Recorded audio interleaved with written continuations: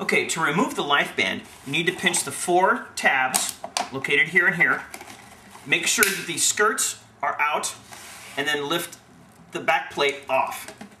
From there, ensure that the Lifeband is positioned at the home position so you can see the stitching and so it's fully unwound. From there to remove it, you need to push in this white disc here.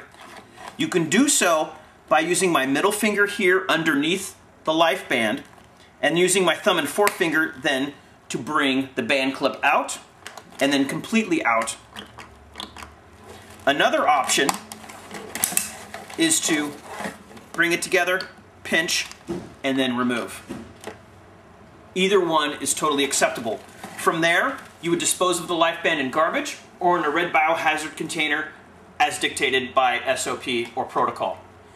To put a new Lifeband in is a reverse of that process. So make sure that the icon lines up. Make sure that the, the skirts or, or, or fenders here are out.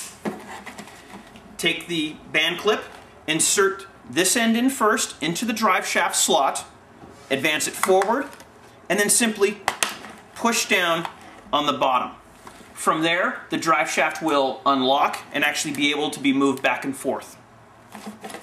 Once again, you need to make sure that these skirts are out and put the locking plate in place and you are good to go.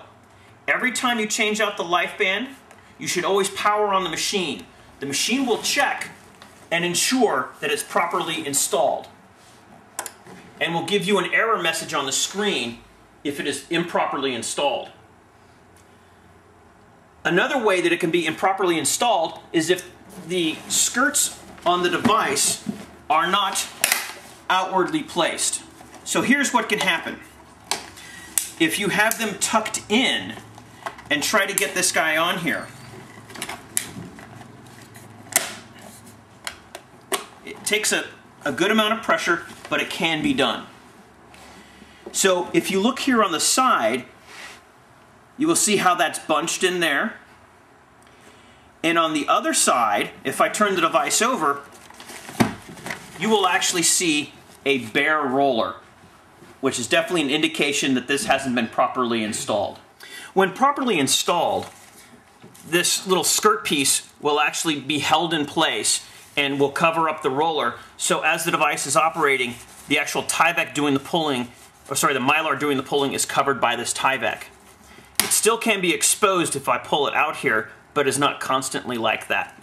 Most times it will stay in place there, and actually I'm pulling on here a little bit, and it's still holding in.